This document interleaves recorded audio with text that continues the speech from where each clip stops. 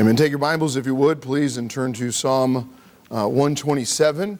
And uh, we're continuing with this, um, uh, this theme from the cradle uh, to the altar. And uh, we're going to be reading Psalm 127 again. And uh, I'm going to throw Brother Hit for a loop here just a minute because we're not quite ready to go on to the next page and your notes. And uh, I don't know if this has ever happened uh, to these other guys that have preached, but uh, while you're preaching along, you're like, oh man, I need to add that in there. And uh, so in your notes, you're just going to put, and this. And uh, so we're going to spend a little time on this and this uh, this evening. Psalm 127, if you found your place, if you stand together with me, please. For the reading of God's word, Psalm 127, beginning in verse number one, we'll read this psalm. And I think again, I just cannot emphasize it enough, this very first word, except. This is an exclusive idea. You can strive and do anything you want to do except the Lord build the house. We lay labor in vain. So let me read it again. Psalm 127 Except the Lord build the house, they labor in vain that build it. Except the Lord keep the city, the watchman waketh but in vain. It is vain for you to rise up early, to sit up late, to eat the bread of sorrows, for so he giveth his beloved sleep. Lo, children are an heritage of the Lord, and the fruit of the womb is his reward. As arrows are in the hand of a mighty man, so are children of the youth. Happy is the man that hath his quiver full of them. They shall not be ashamed, but they shall speak with the enemies in the gate. Lord, I pray that you help us as we look at this portion of Scripture again, that we would just uh, be reminded, Lord, that uh, striving and effort and strength and intellect these are not things that produce spiritual results. And oh Lord, we, we need spiritual results in the lives of our children and our families and our homes, Lord, and these only come about by the Holy Spirit. Lord, so I pray that you'd help us, Lord, that uh, even though there would be labor and even though there would be uh, strength and even though there would be teaching and learning, that all of it would be predicated upon the humility of surrender. That we might hear you and adhere to you so that you could produce in us and in our home and in our children that which would bring you glory. But I pray that you'd help us, that we would just be reminded of the role that you play in our home, Lord, unless we think that we are able to overcome or achieve without you. Lord, we thank you for all that you've done for us. In Jesus' name, amen. As we've been talking and continuing to, to look at this verse number four, as arrows are in the hands of a mighty man, so are children of the youth. And each arrow is unique. Each arrow has its own strength and weaknesses and bents. And it is important that cooperation that is necessary between the bow and the arrow. And this arrow is, has its own volition. This arrow is a part of the process. And the bow is necessary. It needs to be supported. It needs to be strung. Uh, but this arrow also has to be a part of the process. I think of Abraham and Isaac going up the mountain. And God told Abraham to sacrifice his son. And we think about Abraham having great faith to sacrifice Isaac. But think about the faith that was required of Isaac. Okay, you know how old Abraham was? Abraham was over 100 years old. There are different thoughts and commentaries that, that Isaac was anywhere from uh, 13 to 33. And any place in there, I don't care where you come on, I think anywhere from there, he could have got away from a 100 year old guy. he could have said, I don't think so. Right? And so that's a, a beautiful picture of uh, the, the obedience of the Father is, is magnified by the cooperation of the Son.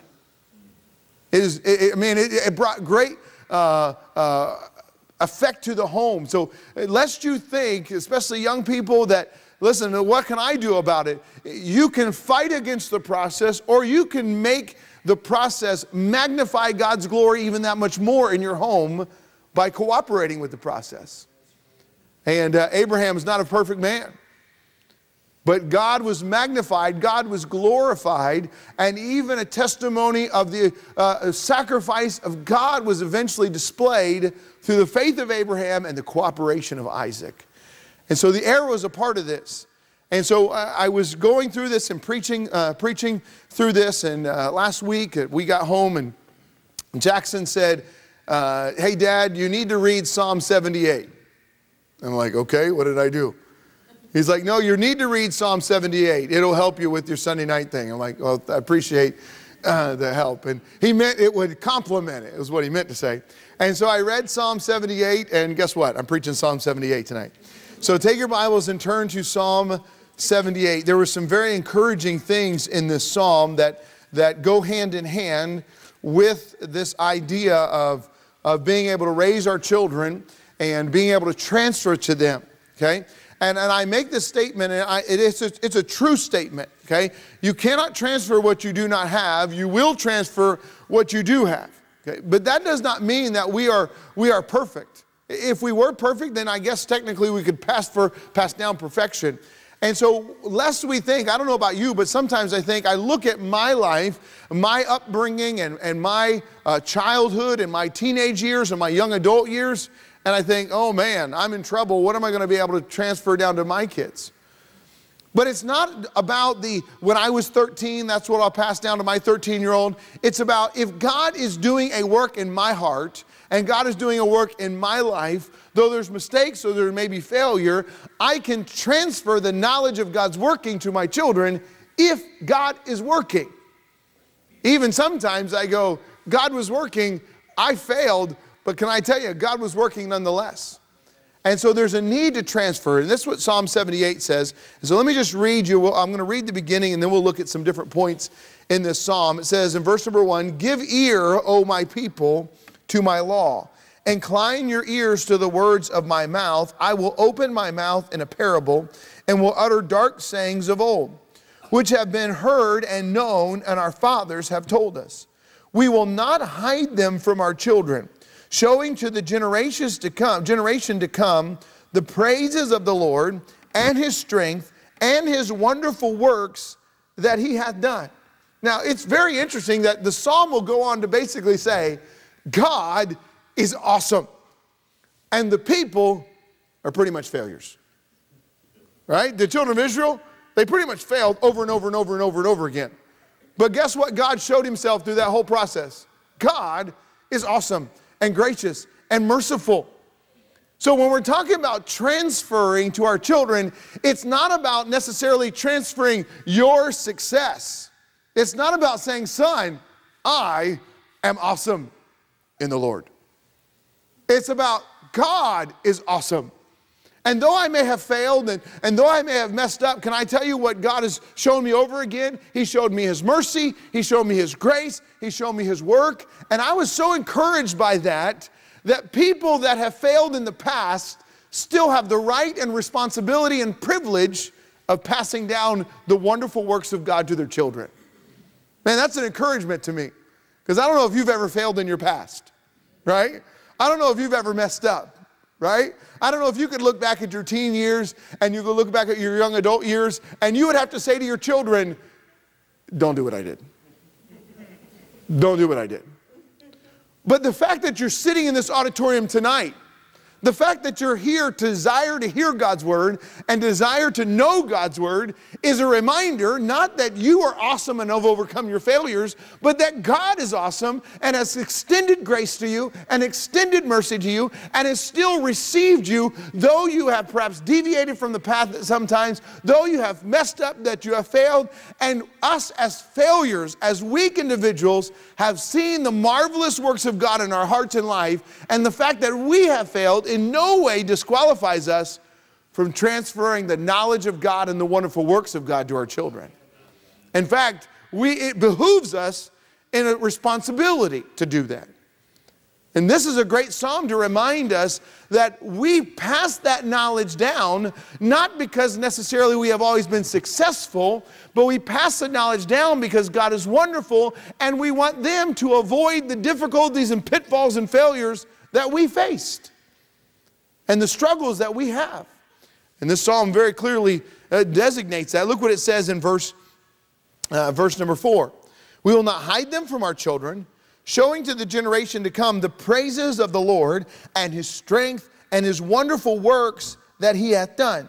For he established a testimony in Jacob and appointed a law in Israel, which he commanded our fathers that they should make them known under their children Okay, and you got to catch this, this is important. He says, now remember Jacob, when was the law established in Jacob? It was established under Moses. Okay? And it was, it was not about the continual perfection of the children of Israel, that they never adhered to the law or they, they never failed to adhere to the law or they never broke the law. In fact, they broke the law before it even came down from the mountain. But it doesn't change the fact that the law was established. It doesn't change the fact that the law was given. Can I tell you, if you know Jesus Christ as your Savior, can I tell what was given to you? Grace was given unto you. The Spirit of God was given unto you. And though you have, may have uh, uh, failed in that area, and, and, please, please don't get me wrong, I'm not excusing our failure. In fact, uh, the, the, the point is, uh, the contrast that is given here is I'm having to tell you this because of their failure. Our obedience would magnify this even more. But the fact that they failed does not mean that grace and the spirit and mercy has not been extended. He said, I established a law. The law is there. And it's the law that I want to make, I want you to make known. For what purpose do I want, uh, want to make this law known? Look what it says in verse number six, six that, that the generation to come might know, even the children which should be born, who are arise and declare, uh, who should arise and declare unto their children. Okay, it says, who should arise and declare them to their children. Hey, this is, this is generational and generational. And so we're going to declare them. What are we going to declare? Verse number seven, it says, that they might set their hope in God and not forget the works of God, but keep his commandments, and might not be as their fathers, a stubborn and rebellious generation, a generation that set not their heart aright, and whose spirit was not steadfast with God. Now, it's very interesting that he uses these words here. And the, the, phrase that is used in verse number seven, that they might set their hope in God, is a very interesting phrase. Uh, the word that is used there for hope literally comes from the word of folly. Uh, basically, meaning I'm going to jump into an area that I don't know what's going to there. Uh, it's, it's foolish, but I hope there will be something to catch me. It's, uh, you talk about blind faith. You know who's great at having blind faith? Children. They're pretty incredible having. He says, I want them to have their hope in God. It means hope without understanding. Do your kids understand all the things of God? Do you understand all the things of God? No. And we, are, uh, we, we want them to be able to have their hope in God even before they have understanding. This idea that, that God is so awesome, though I don't get it, though I don't understand it, man, my heart is thrilled to know God and to leap into His arms knowing that God is there. I can trust Him. He says that's what we want our kids to, to set their hope in God. How do they do that? It says, but keep His commandments. So we want them to have that desire. I believe God, I trust God beyond my knowledge, and my belief in God is going to respond to my activities. Now there's a contrast in verse number eight. He says, that, and might not be as their fathers, a stubborn and rebellious generation, a generation that set not their heart aright, whose spirit was not steadfast with God. Now, the, the phrase set their heart, meaning that they on purpose deviated. They on purpose deviated. Now, here's the, here's the idea that kids have not been made aware enough, the children have not been made aware enough of the knowledge of God. They have not experienced the works of God. They have not experienced the knowledge of God. They don't have an understanding of, of the things of God to the point where they go, Man, I saw God did this for me. Praise the Lord, hallelujah, but I'm going to go this way. Now, I'm going to tell you, I have experienced the works of the Lord. I have experienced His grace, I've experienced His mercy, I've experienced His goodness. I can make a, a responsible decision based upon knowledge of God's Word and based upon God's working in my heart. I'm going to tell you this when I am discouraged, I am discouraged in spite of God's goodness. When I do wrong, I do wrong in spite of the knowledge that God has given me according to His Word. He that knoweth to do good and doeth it not, to him it is sent. And so when I fail, it's because I have not set my heart on God, on that which I have been given. So you understand the difference between the position of the adult. The position of the adult is I have been taught, I have been given knowledge, I have experience, I have, I have everything from God's word. And so when I do wrong, it's because I am not setting my heart on God. Now, I tell my kids about the works of God and the things of God because they may not be yet in the position to set their heart on God, a, a, response based upon what God has done in the past, based upon what God has done in the present, and what I know God will do in the future. They do not have all that knowledge. You know what they have? They have hope. They have hope. How do you build hope of God in your children? God says, tell them of the mighty works that God has done. Tell them. Now, the blessing for that is it is not predicated on the mighty works that you have done. It's predicated on the fact of the mighty works that God has done. And to be honest, we spend a whole lot of time looking at the failure of the children of Israel and forgetting the mercy and the works and the grace of God. Did the children of Israel murmur in the wilderness? Yes, they did. What did God do? He gave them manna. Did the children uh, begin to, to, to be bitter or to be upset when they came to the waters of Marah and the bitter waters? What did God do? He commanded that they throw in a tree and the waters became sweet. And so we can, we can recognize the failures that they have, but we can also recognize, more importantly, the mighty works that God has done. And it's very important when we think about our life and we begin to focus on what do our children know us for? Do you fail? I fail. What do they know us for? Sometimes we focus so much on our failures or so much our, can I say this, our inevitable failure that all they know of us is what's going to go wrong instead of God is good. God is good. God is merciful. God is gracious. God is mighty. His goodness and His mercy is magnified by or my obedience but it's even there in my failure. And because we, know, we so often focus on the negative of what cannot be done, we don't focus on the goodness of God. The Bible is very clear in Romans chapter number six. Romans chapter number six, that I can yield my, my members as instruments of righteousness. God has given me power over sin by the death, burial, and resurrection of Jesus Christ. But even in sometimes in our home, we focus on the failures and the negatives. Oh, we can't do this and we can't do that. And guess who never seems to be invited to the conversation? God. And God says, it is your responsibility to pass down the knowledge to your children. Here's what it says, and might not be in verse number nine. The children of Ephraim, being armed and carried bows, turned back in the day of battle. They kept not the covenant of God, refused to walk in his law, and forgot his works and his wonder that he had showed them. Marvelous things did he in the sight of their fathers in the land of Egypt, in the field of Zoan. And he divided the sea and caused them to pass through, and he made the waters to stand as an heap. And in daytimes also he led them with a cloud, and all night with a light of fire. And he, uh, he clave the rocks in, in the wilderness and gave them drink out of the great depths. And he brought streams out of also out of the rock and caused the waters to run down like rivers. If I were to tell you, if I were to say, what do you think about the children of Israel in the wilderness? You know, probably the first thing that comes to your mind? Murmuring, disobedience, uh, Korah you know, turning back from the Jordan. Are all those things true? Sure. And God points them out. But you know what God remembers from the wilderness?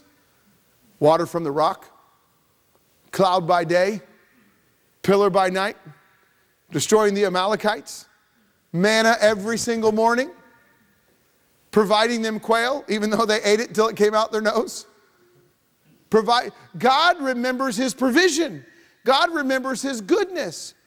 And I'm going to tell you, when you're, when you're moving on and you're beginning to, to, to want to do right and want to transfer that knowledge, you do not begin with your goodness, you begin with God's goodness. You do not begin with telling your children how good of a Christian you are. You begin with telling your children how good God is. Amen. Now, I'm going to tell you this they forgot God's works even though they were happening all around them. Telling your children of the good works of God will not only help your children set their heart on God, or set their hope on God, I should say, it will also help you set your heart on God. Because if not, oh, I'm trying and I messed up and oh, I know, don't do it like this and don't do. Listen, we are we are going to have our failures. We're going to have our mess ups. But the focus should not be on when am I going to fail again. The focus is going to be on God is good and can overcome and is mighty. And as I tell my children that, I'm going to be reminded of that. I want them to have hope in God, and I want myself to set my heart on God. It's going to be a lot easier to keep right with the Lord when you are reminding your children of His goodness. Okay? I, I don't know if this has ever happened to you. This has happened in our home where we're, we're sitting and husband and wife, we're complaining about this and oh no, this and that. Oh no, man, uh, this and we're struggling with this and struggling with that. And all of a sudden, one of our kids, uh, uh we give them something, they're like, oh, I don't like that. And we're like, you should be thankful. I, I don't like kids who are unthankful. And my kids are, you know, like, okay, I should be thankful. And the Lord will speak to my heart sometimes and say, you know, I like children who are thankful too. yeah, but God, you don't understand. I have a lot more responsibilities than they do. God says, You don't understand. So do I. You understand the weight, the pressure that I have, that I got to provide for these children. I think I do understand that. You know, and, and I, my, the focus is, is if I cannot see the mighty works of God, it, because here's, here's the truth the mighty works of God are happening. They are happening. You, you are not deserving of them, but yet they are still happening. They may not be happening as much as they could. Some of his blessings are being held back because of disobedience, perhaps, but God is good nonetheless. God is gracious. The fact that you are breathing is, is a testimony to the mercy of God. And so good, the good things of God are happening. The blessings of God are happening. He, would love to, to, to, press them down and he, he'd love to have them overflowing from heaven. And, and if sometimes we don't get as much as we should, that's because of our disobedience. But I'm going to tell you, the goodness of God is happening. The blessings, the mighty works of God are taking place. And if I don't stop in the midst of it and recognize it and tell that to my children, then they're going to have a difficult time setting their hope on God if they're not hearing about the good works of God. What is there to hope in? Who is there to hope in, mom? Who is there to hope in, dad? Life is tough. Yeah, life may be tough. You may be in a wilderness. Can I tell you what God's doing? He's giving water out of the rock. He's giving you manna every morning. He, he's providing quail for you. He's leading you with a pillar of fire at night and a cloud by the day. God is there in the difficult times of the wilderness and the rough times of the wilderness. And if you're so focused on what you do not have and what you cannot have and the family you could have had and the family you should have had, listen, we're all dysfunctional and there's all sorts of problems in all our families. You better focus on the goodness of God and the mighty works of God. Yeah, but preacher, you don't understand. My husband's making life difficult. My wife is making life difficult. Yeah, join the crowd. But I'm going to tell you, God's still good. And he did not say, it's amazing to me in Psalm 78 that God uses the most difficult time in Israel's history to say, tell your kids about the goodness of God. Tell your kids about the wonderful works of God. Because even though you were wandering in a wilderness, God was still making himself known and God was still being evident. Don't be like your fathers that did not set their heart on God because they forgot the works of God, but just because they forgot them didn't mean God wasn't working.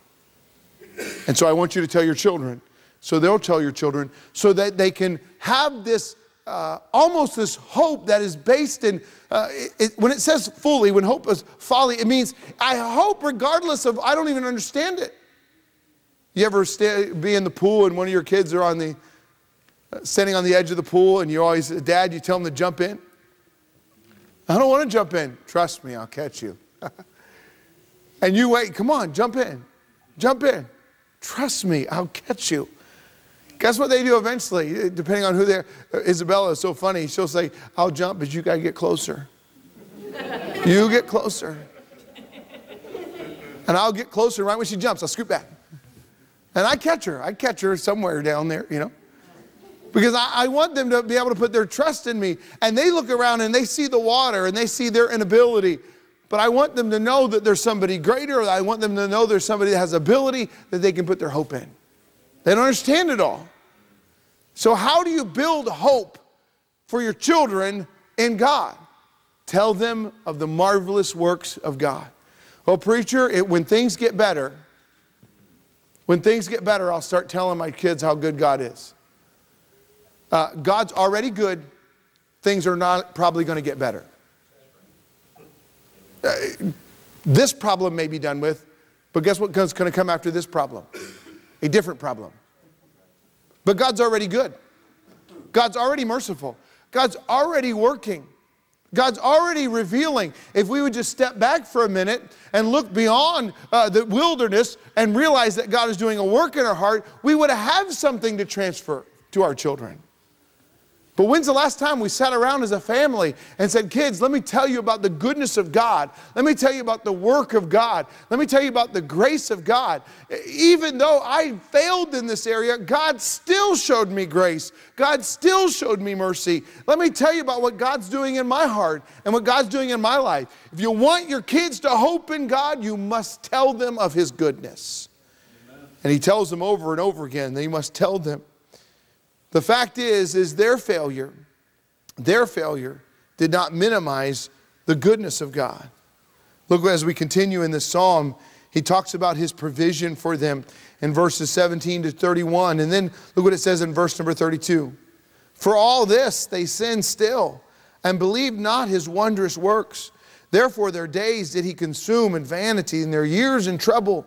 And when he slew them, they sought him, and they returned and inquired yearly after God. And they remembered that God was their rock and the high God, their redeemer. Nevertheless, nevertheless, they did flatter him with their mouths, and they lied unto him with their tongues, for their heart was not right with him, neither were they steadfast in his covenant. I'm reminded of a, a, few things with this passage. First of all, just because we have failed does not mean we do not have the right and responsibility to pass down the goodness of God. That is true.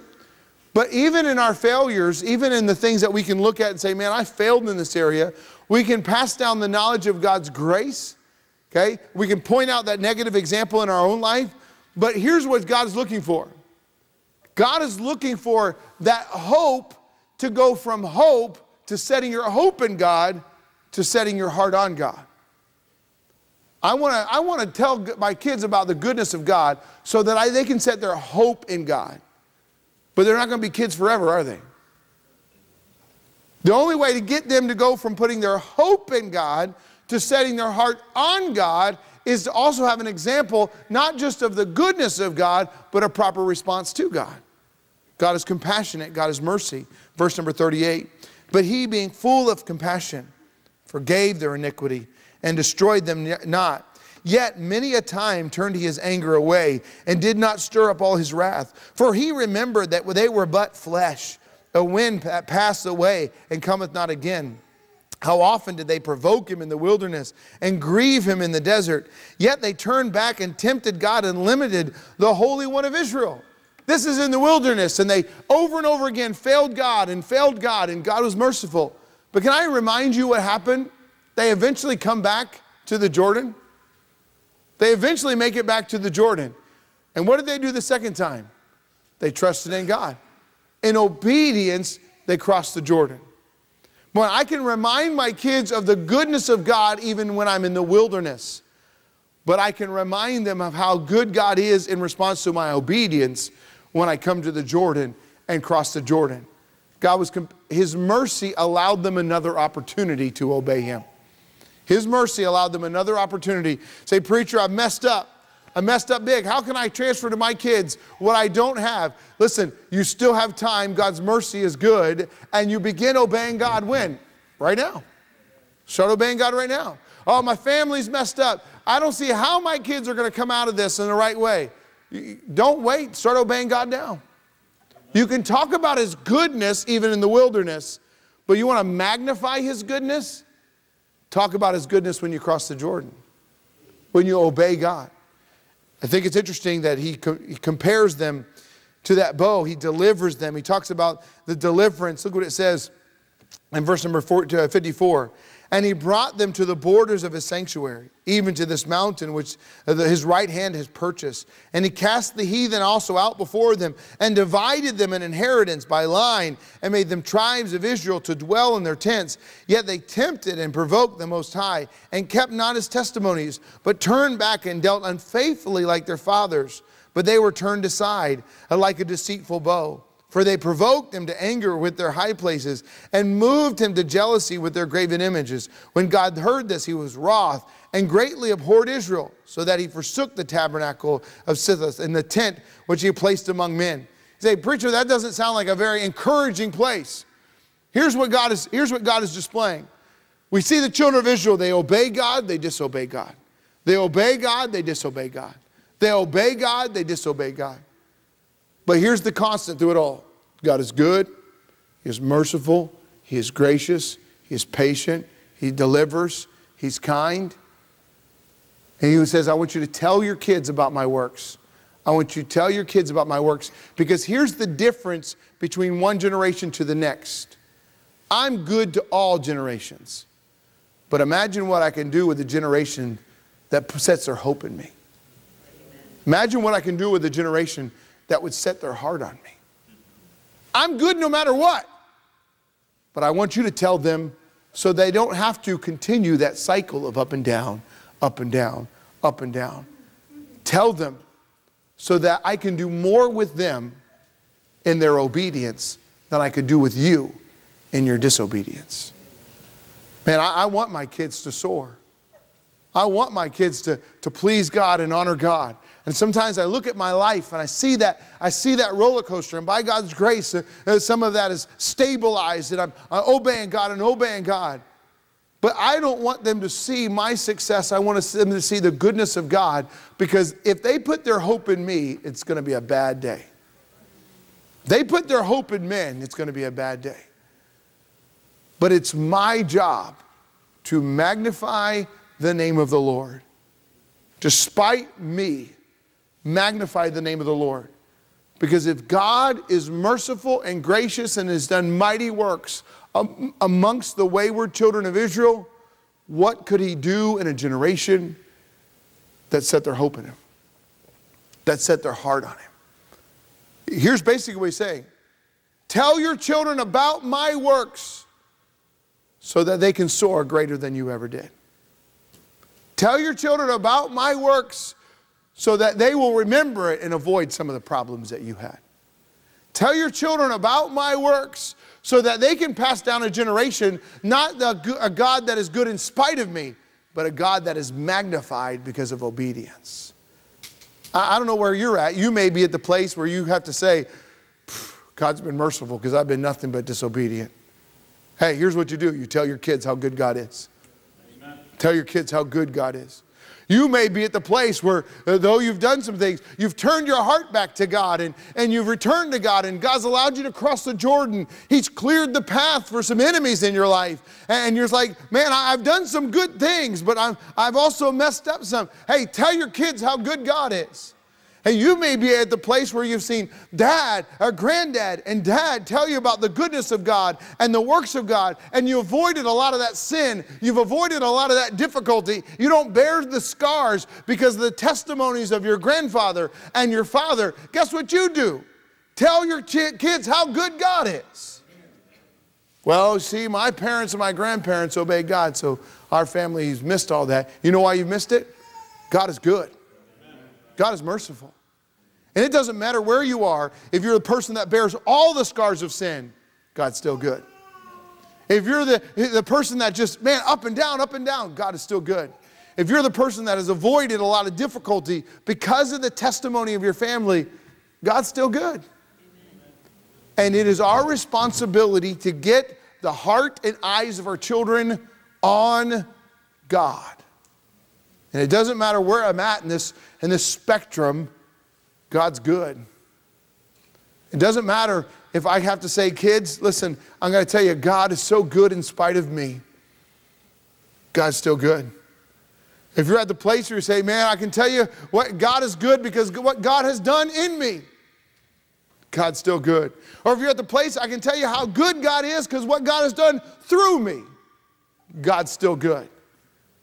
But you will not be able to transfer a knowledge of God from this position uh, based in fear. You'll not be able to transfer a knowledge of God in this position based in contentment. You'll not be able to transfer a knowledge of God in this position based on pride. Because if the focus is on man, they will not have their heart set on God. And he says, So your children will tell their children the mighty works of God, the, good, the goodness of God. Let me go back and read that. Verse number five, verse number four. We will not hide them from their children, showing the generations to come the praises of the Lord and his strength and his wonderful works that he has done.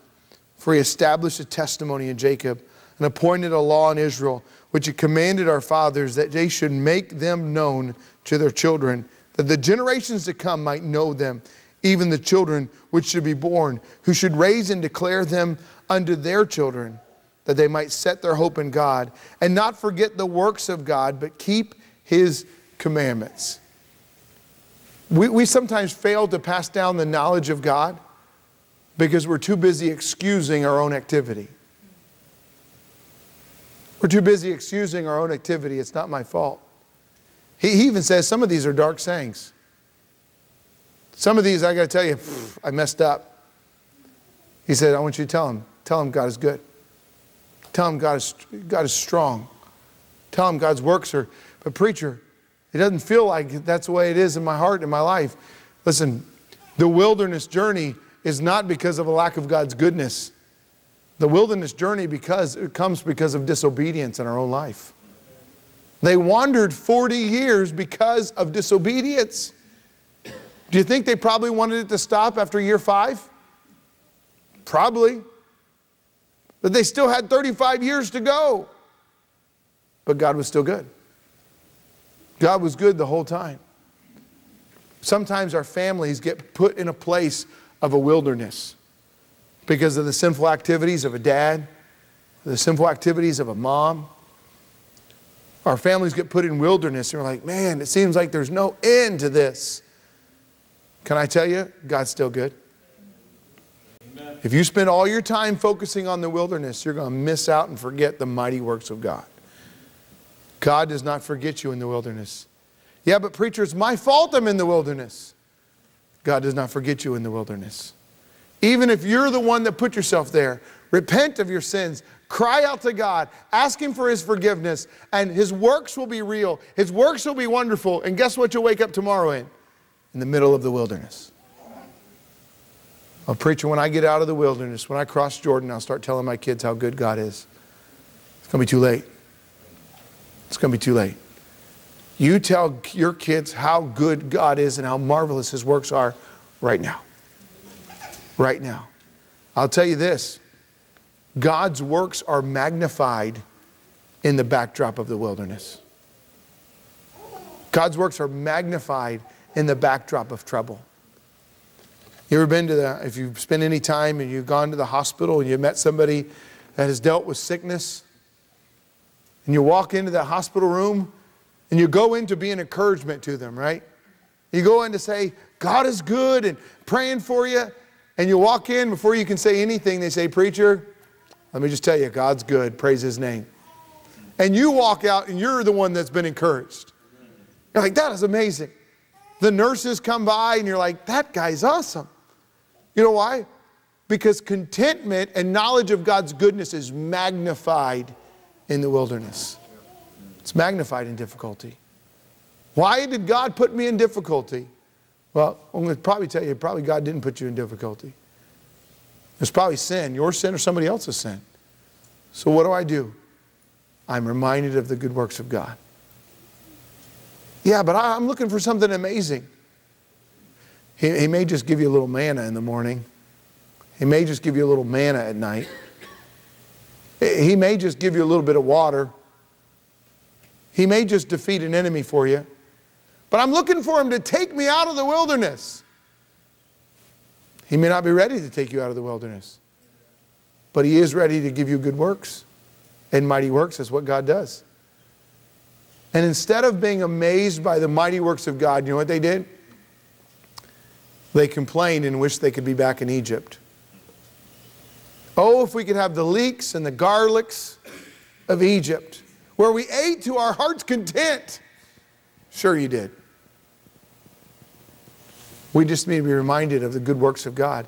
Let me give you this thought. It was because of their failure to see the present works of God that God had to tell the next generation to look back at the works of God. That generation failed to see the works of God right now. So had to tell the next generation, they didn't see it, look back so you can see it. And that's what happens sometimes. Is we all to find God's goodness, you know what we have to do? We have to look back. But that's not faith. Faith is believing and knowing that God is good right now. God is good right now. And if you open your eyes of faith, you're going to be able to see God's goodness right now. And let me just give you this thought. If we were to have your kids and my kids come up here, we're not going to do this. But if we were to have your kids and my kids come up here and say, Give us this testimony.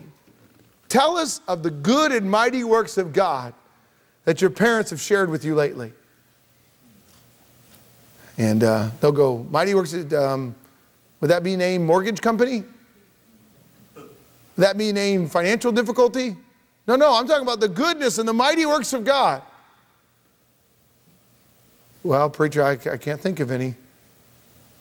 That's because we, as the parents, are failing to see that God is doing a mighty work, that God is giving manna. I'll prove it to you this way. And I'm guilty of this. Guilty of this. You sometime ever been too busy? You've ever been in a hustle? You ever been too busy to read God's word to your family? Oh man, oh, we got to go do this. Oh, we'll do it later. You ever been too busy to read God's word?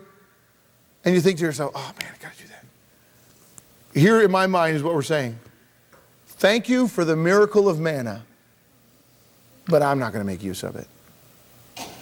If we actually believe God's word was a miracle and a blessing and a gift, we would put more emphasis on the good works of God and the good word of God. But manna became so commonplace to them, they started complaining about it. In fact, they said this We have nothing to eat, and all we have to eat is this manna. We have nothing to eat and all we have to eat is this manna. You just said that the miracle of God was gross. You know why? It became so commonplace to them, they stopped recognizing it as a miracle. You know who can be guilty of that? That God's word has become so commonplace, has become so rote for us that we fail to recognize it to be the miracle of God given to us to transfer His knowledge to us. So we sit down with our kids and say, Can I tell you? Let me share you something that God has given to us from His Word. And it's just too commonplace. It, it, prayer, I'm convicted of this. Convicted of this. It seems like the only thing we teach our kids is a closing prayer. Because the only time we pray with our kids is when we're giving a closing prayer. Closing prayer before we go to bed, closing prayer at the end of devotions, closing prayer when we're getting ready to travel, closing prayer, uh, you know, when we were going to uh, do something. No wonder our kids only learn closing prayers. When's the last time that we said we got to pour our heart out to God so that we can see and know His marvelous, mighty works? Prayers become so commonplace, so habitual in nature that it's not a miracle. The Bible says that we can boldly go before the throne of grace into the very presence of God. When we say, okay, kids, let's pray. Lord, thank you for a day. Help us have a good night. Amen. And we wonder why our kids are not in awe of prayer. God's miracles, God's marvelous works are all around us. But we're so concerned with the wilderness, we're missing it. I was reading this going, okay, So, what marvelous works has God done? I'll tell you a marvelous work He's done. He's given me His word. He lets me come to Him in prayer. He's gracious and merciful to me. If we would recognize that, our kids would start setting their hope in God. And you want to get them to set their hope, their heart on God? First, get them to set their hope in God. Tell them of the goodness of God. Uh, there was a statistic taken a couple years ago from a book by a man named Ken Ham called Already Gone. It talks about that about two thirds of young people that are in Bible believing churches will not be in church by their age 25. Two thirds, 80% is what this book said. 80% of them. And they asked them a question what, what, they, what they believed about God. And this was the, basically the statement they got back from it. They did not believe God was anything more than a fairy tale. Because the only thing they knew about God was stories from the past. It's almost like God is dead. Can I tell you, God is not dead. But as believers, sometimes we're so focused on the wilderness. Our kids growing up in church grow up with an attitude that God is dead. Let's pray. Lord, I pray that you'd help us. Lord, that we would see the responsibility and the burden to pass down to our children a knowledge of you, to pass down to them uh, the knowledge of your mighty works, in spite of our frailty, in spite of our mistakes, Lord, and, and, and that knowledge can be magnified by our obedience. But God is good. Let us spend time telling our children about the mighty works of God and the strength of God and the praises of God so that they might set their hope in Him. Lord, over and over and over again, the children of Israel, the, the, the next generation, was so enamored with the other nations because that was where the focus of their parents were, the other nations. And Lord, the world's going to steal our children if we are so focused on the world that we are not giving them the knowledge of God and declaring His goodness. Help us, Lord. Help us to magnify you with obedience, but Lord, help us to proclaim your goodness despite ourselves. In Jesus' name, amen. Stand together.